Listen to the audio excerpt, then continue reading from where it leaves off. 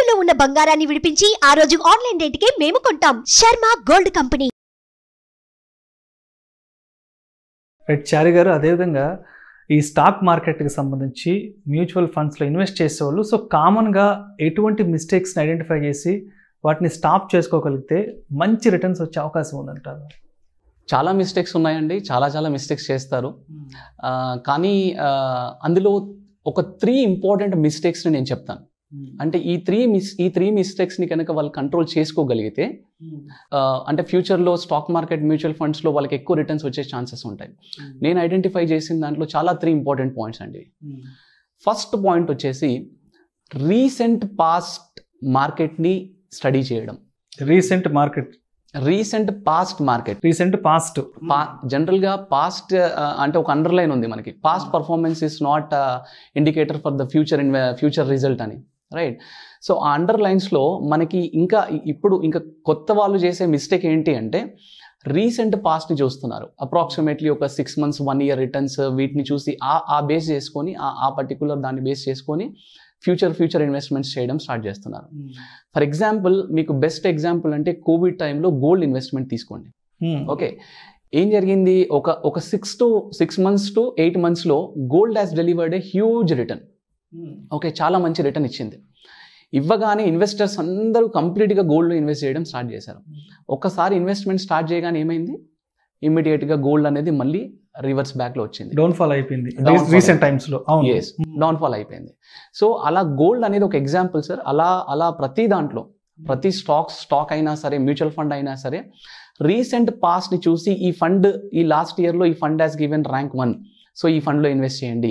ఈ stock last six మంత్స్లో చాలా హ్యూజ్ రిటర్న్ జనరేట్ చేసింది. ఈ స్టాక్లో ఇన్వెస్ట్ చేద్దాం.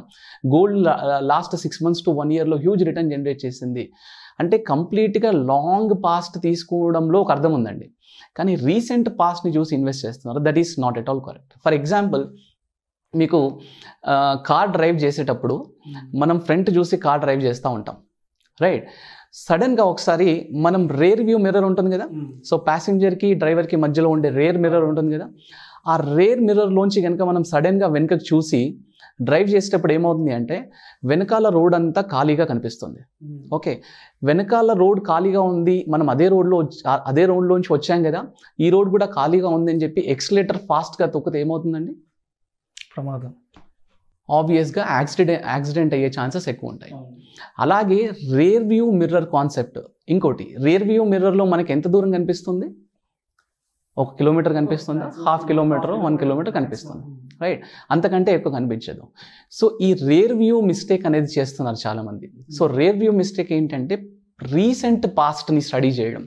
Six months to one year లేదా టూ ఇయర్స్లో ఒక ఫండ్ కానీ ఒక స్టాక్ కానీ ఒక గోల్డ్ ఒక అసెట్ క్లాస్ని తీసుకొని ఆ రేర్ వ్యూ మిర్రర్ కాన్సెప్ట్లో వాళ్ళు ఇన్వెస్ట్ చేస్తున్నారండి. రేర్ వ్యూ మిర్రర్లో చూసి ఏమీ లేదు కదా అని చెప్పేసి నెక్స్ట్ ఎక్స్లేటర్ నొక్కితే ఎంత ఎంత ప్రమాదమో అదే రీసెంట్ పాస్ట్ రిటర్న్స్ని చూసి ఆ ఇన్స్ట్రుమెంట్స్లో ఇన్వెస్ట్ చేయడం కూడా అంతే ప్రమాదం. So this is point number one. Point number two.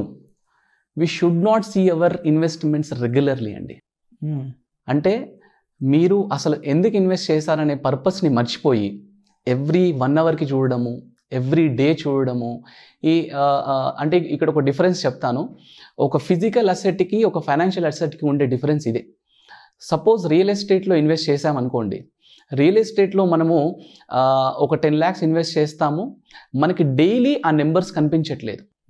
ఎందుకంటే మనం మార్కెట్లోకి వెళ్ళి చూడాలి దాని నెంబర్ ఎంత పెరుగుతుంది ఎంత తగ్గుతుంది అని. రైట్ కానీ అదే ఇన్వెస్ట్మెంట్ ఫైనాన్షియల్ ఇన్వెస్ట్మెంట్స్కి వచ్చేస్తే స్టాక్ మార్కెట్ మ్యూచువల్ ఫండ్స్లో మనకి హ్యాండీ ఉందండి. ఇప్పుడు మొబైల్ యాప్స్ ఉన్నాయి మనకి మనీ కంట్రోల్ వాల్యూ రీసెర్చ్ ఇనా ఇలాంటి థర్డ్ పార్టీ యాప్స్ అన్ని ఉన్నాయి. ప్లస్ కంపెనీస్ కూడా ప్రతి డే ప్రతి హార్ మనకి అప్డేట్ ఇస్తూ ఉన్నాయి. ఈ స్టాక్ ఇంత పెరిగింది ఈ స్టాక్ ఇంత తగ్గింది. ఎందుకంటే హ్యూమన్ ఎమోషన్స్ని కంట్రోల్ చేసుకోవడం ఎవరి వల్ల అవ్వదండి.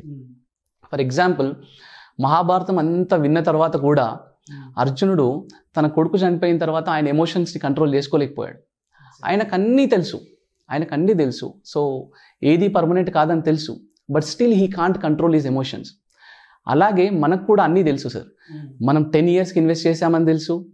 ఈ ఈ స్టాక్ ఈ చాలా స్టాండర్డ్ స్టాక్ అని తెలుసు. ఈ మ్యూచువల్ ఫండ్ కంపెనీ ఇంత స్టాండర్డ్ కంపెనీ అని తెలుసు. అన్నీ తెలుసు కానీ సడన్గా మనం ఆ నెంబర్స్ని చూసి అది తగ్గిపోయినప్పుడు సడన్గా మళ్ళీ విత్డ్రా చేసేస్తూ ఉంటాం. సో రెగ్యులర్గా చూడడం అనేది ఒక one of the biggest mistake అండి. ఓకే సో స్టాక్ మార్కెట్లో మ్యూచువల్ ఫండ్స్లో వీటి ఈ ఇన్వెస్ట్మెంట్స్లో ఎస్పెషల్గా మీరు లాంగ్ టర్మ్కి ఇన్వెస్ట్ చేసే వాళ్ళు ఎవరు కూడా రెగ్యులర్గా మానిటర్ చేసుకోవాల్సిన అవసరం లేదు. ఎవ్రీ మంత్కో టూ మంత్స్కో లేదా సిక్స్ మంత్స్కో ఆ ఫండ్ని చెక్ చేసుకోవడము. అంటే మనం అనుకున్న రేంజ్లో వెళ్తుందా లేదా చెక్ చేసుకోవడం సరిపోతుంది కానీ దానికి మినిమం టైం ఇవ్వాలి. ఎందుకంటే మ్యూచువల్ ఫండ్స్లో అయితే కనుక fund managers already they are doing their duty. ఏ టైంలో స్టాక్ని తీసేయాలి ఏ టైంలో స్టాక్ని ఇన్వెస్ట్ చేయాలి అలా చూస్తూనే ఉంటారు. సో అన్నీ తెలిసిన తర్వాత కూడా ఎగ్జాంపుల్ మాకు almost seven hundred and fifty clients ఉన్నారు.